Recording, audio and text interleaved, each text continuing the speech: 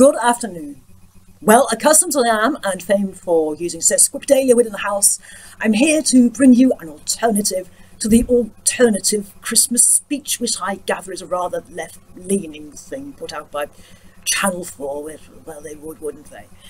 I do this in no way to diminish the words spoken by Her Royal Highness, or as I hear the modern term is uh, cast shade, rather in the interests of a competitive free enterprise providing a slightly more upmarket product for the classier customer.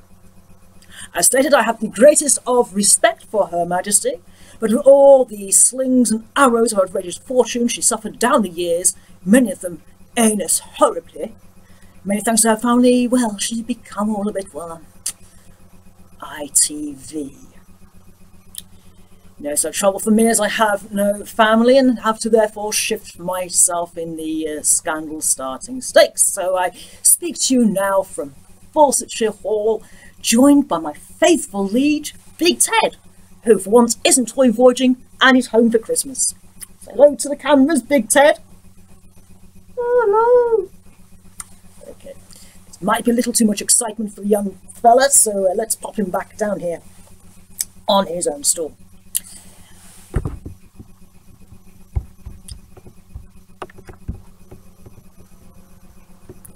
I've already given the customary alms to the local yeomen and farmers who form part of my very large estates um, with a customary seasonal gifts. I hope that the traditional offering of some oranges and a few walnuts hit the spot and that nobody was expecting something as extortionate as state-of-the-art tillage equipment. Unlike on Comic Relief, these can't be purchased in this country for a mere £25. So catch up with them all on Boxing Day when I'm scheduled to judge some duck herding, along with Big Ted here, who is frankly the brains of the outfit in that department, aren't you, old sport? I do seem to have a rather lot of these. I mean, one, two, um, sorry, um, quite a lot. I wonder if I can help use them to relieve the national debt. Who knows? Christmas is a time for parties and revelries, but I should just like to point out that in no way was I involved in Partygate. I, I wasn't invited. No, I spent last Christmas here with Nanny, Big Ted here for company. We had excellent fun playing Tiddlywinks, which I won, by the way. Uh, mainly due to a bit of sleight of hand, but uh, don't tell Nanny that. I hope, if not already, you will be enjoying a bountiful belt-buster blowout of a Christmas meal today. I myself enjoyed a delightful din-din, including salmon, pheasant, figgy pudding, stilton, and, because I'm very greedy, some cheeky chocolates I uh, scoffed beforehand. And Nanny was quite wrong that it didn't spoil my appetite, although I am very greedy. Yum, yum, yummy in my tummy. But please think of those who are unable to take partake in such delights. Supermodels, persons with eating disorders, vegan influencers who tout their trade on Instagram, silly billies for the most part, of course, but also the homeless. I often think of the homeless at this frigid, gelid time of year as I sit by the fire here at Fawcettshire Hall, feeling very smug. I, I, I mean, snug, snug, nice and cosy. Now, some have suggested that I invite a number of them in, and this is something I have reflected on at length, but here's the thing. The place is out of the way. It's highly unlikely they could make it here, least of all at Christmas, when there is no public transportation running, particularly not round here. It never stops anyone showing up after of uh, nowhere on the popular soap operas, nor indeed in biblical literature.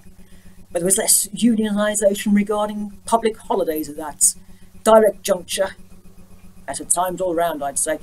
Additionally, this place is part owned by the National Trust, and I doubt their trustees would uh, feel very keenly about some trampy sort dossing down in the bed of my ancestor Sir Fotherington Thomas's erstwhile leader of the Borsetshire Hellfire Club, where he allegedly, allegedly consorted with many specimens of Harris's List, a rather unsavoury list of uh, ladies of the night from the Georgian period for those who are ignorant of this uh, rather lurid publication.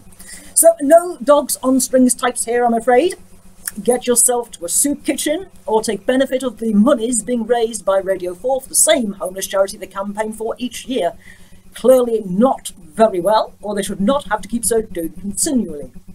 And does no other charity get a look in? Is this something for the Monopolies and Mergers Committee to be investigating?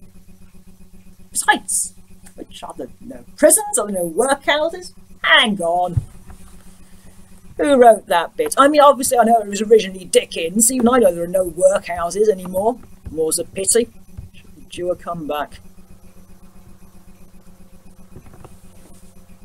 Now to address the members of the Empire.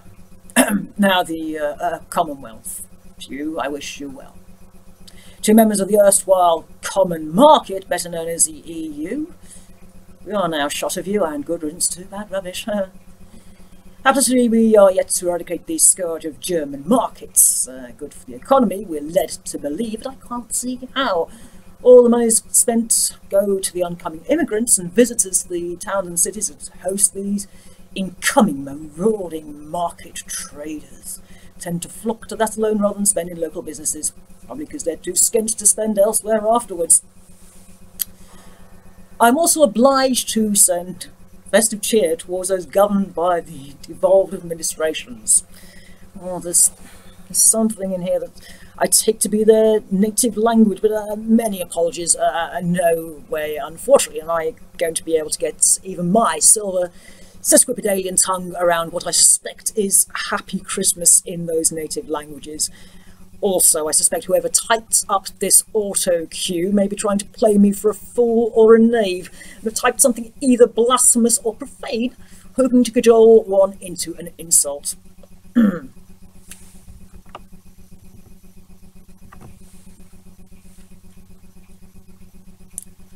Christmas is, of course, a time for children. And big kids. Don't you agree, Big Ted? Yes, he does. He'll get into trouble if he doesn't. But it's down to somebody else happily timing their paternity leave to coincide with this that I'm standing in. Are you watching this, Johnson? It's also a time for gifts, so here you go. Catch! Have a vaccine. Have a booster.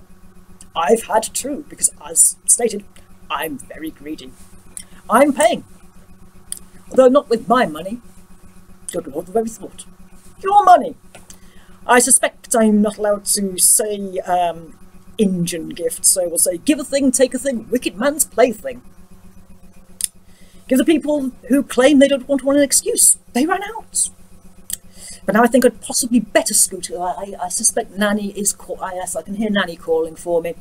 I suspect she, what I suspect even, uh, she wishes for me to get cracking on my thank you notes for my own gifts including this very newfangled calculator, purchased for me by some of my Treasury colleagues who were probably irritated by the noise my trusty old comptometer made. They'd better not try and claim it back on expenses, because this is a doesn't make any noise. Mm, it's a bit light. Mm. Hopefully it's just stuff pay for what. Anyway, and with that, Best off I leave my filibustering and wish you a Merry Christmas, one and all. Now how, now how the hell do I turn this, this blasted thing off?